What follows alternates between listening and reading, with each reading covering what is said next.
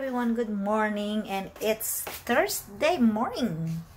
I just woke up so my hair is a little messy don't mind me. And guess what i'm making guys? I am making a what do you call this? Like a saute eggplant with some fresh lemon in it and soy sauce. Po squeeze mo siya fresh na lemon And in-slice ko na siya ng ganito kaano ang eggplant. And i-slice nyo siya kasi it's super haba po. And then slice nyo siya ng ganyan. And then do it like three. Oh, ganito. And then i-deep fry po siya sa frying pan. Deep fry muna siya sa olive oil and then after that, you saute the onions, fresh onion in the olive oil also. And then uh, add up with soy sauce and then after that, squeeze the lemon in it and add a little bit of maybe garlic powder and black pepper and then um that's good. You need to put salt because of what you're putting already which is soy sauce. All right everyone. And after i'm slicing this i'll show you guys how to fry this on olive oil. All right. Then also guys ito ang ihalo mamaya pag sinote po siya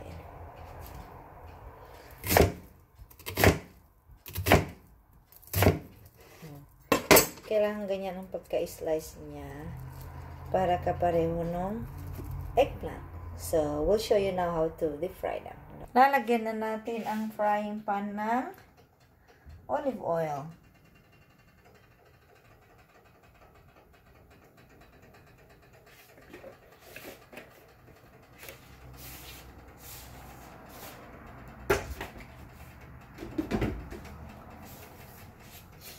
And then, painitin ng pan. At, ilalagay na ito.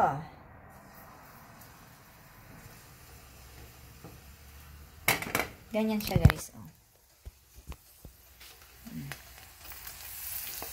Lalagay nyo lang itong eggplant. Piprito nyo siya.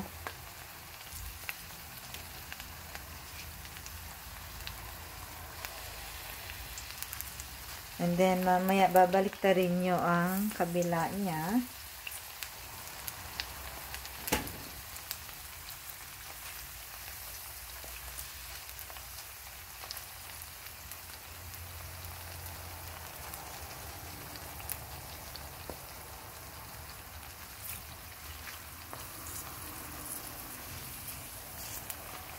Oh, di ba ganyan siya?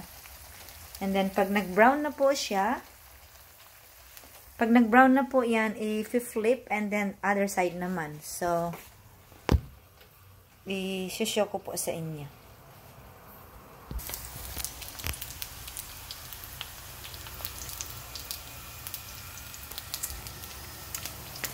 Heto siya guys, pag nag-turn brown siya, ayan o, oh, na-flip ko na siya. Ganyan po ang mag-fry ng eggplant and almost done na rin siya. Ang dami na yan, oh. And then, after nito, matapos lahat, after you fry everything, you have to saute, remove everything out of the frying pan and then saute the onion. Then after sauteing the onion, you put it back all the eggplants inside the pan and then put soy sauce and squeeze it with fresh lemon. Mmm, yummy. It's what you call, instead of beef steak, it's the long steak. Yummy guys. So, this is the onion now guys, the I'm sauteing. So, saute nyo ang onion pag nag-brown siya.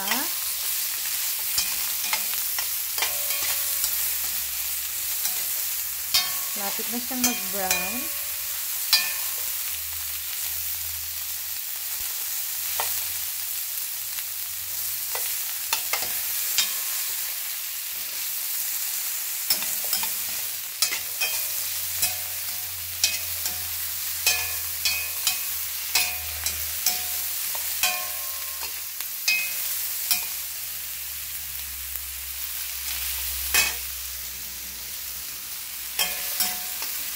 Ang bango niya guys. Super bango ng onion. Kikita niyo. And then ngayon, dahil nag-brown na siya, ilalagay niyo na ngayon ang lahat ng eggplant na pinirito niyo kanina. Ayan. Ihalo-halo niyo siya. And, lagyan niyo siya ng soy sauce.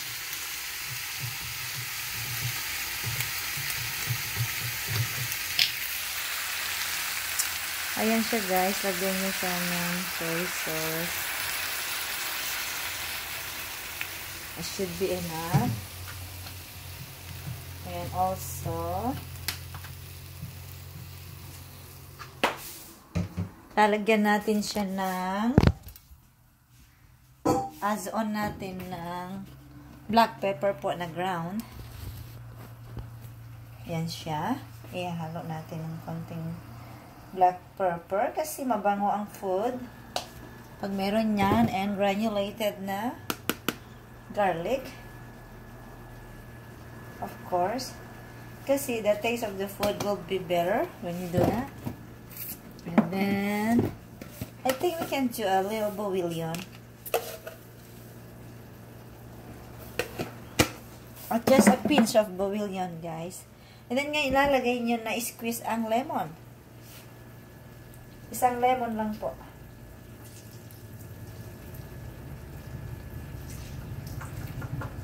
So,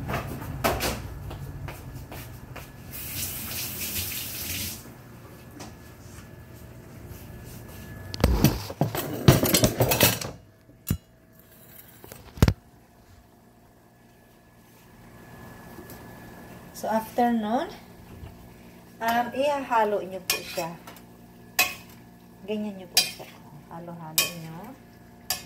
Para yung lemon ma-absorb niya ang lasa and nung soy sauce po.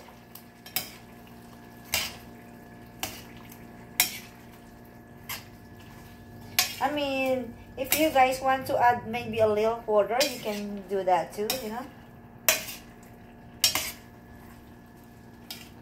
And then, papakuluan nyo siya ng mga 5 minutes and it should be cooked after 5 minutes, guys.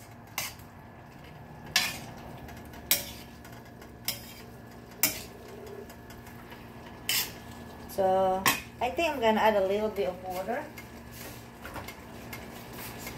Just a little, bit lang po. Ayan, ganyan lang siya. And then, ayan na siya. It's almost cooked na. How about that? Yummy. Kita ko sa inyo ng close up, guys. Ayan siya, guys. Diba? So,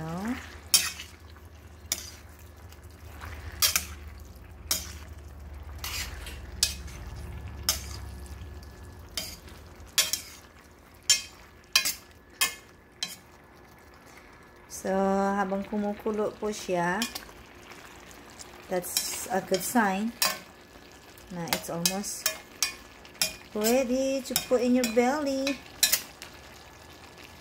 Yummy, yummy na po siya. And ayan na po. Easy lang po. That's how you make talong steak or eggplant steak instead of beef steak. Yummy po siya. So, I hope everyone having a good day today and have a blessed Thursday today. Thank you, everyone.